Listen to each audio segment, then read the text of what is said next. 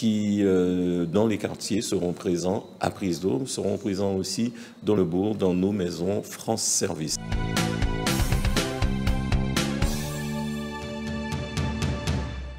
Nous avons eu ce soir le quatrième conseil municipal de la ville de Petit-Bourg, un conseil qui nous a permis d'adopter euh, euh, un budget de 400 000 euros pour nous permettre de poursuivre cet effort de proximité avec notre population, de mettre à la disposition de nos populations euh, services, différents services de l'État, mais pas que, en tout cas des acteurs publics qui, euh, dans les quartiers, seront présents à prise d'eau, seront présents aussi dans le bourg, dans nos maisons France Service. C'est euh, quasiment 400 000 euros de fonds de la ville et nous porterons aussi une contribution provenant des services de l'État.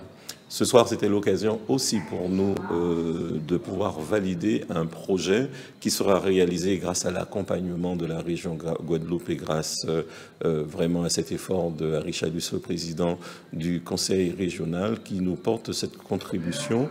Et nous aurons à la Pointe Abacus un nouvel équipement sportif, une infrastructure sportive, mais pas que sportive, ce sera aussi une infrastructure de loisirs où nos jeunes pourront se retrouver dans le quartier.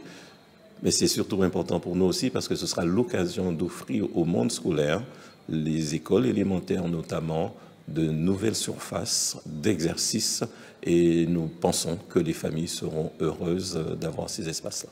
La vidéoprotection demeure pour nous, les élus de Petit-Bourg, une action importante afin d'assurer non seulement la sécurité, mais surtout la tranquillité, la tranquillité euh, des promeneurs, la tranquillité des sportifs, la tranquillité des familles.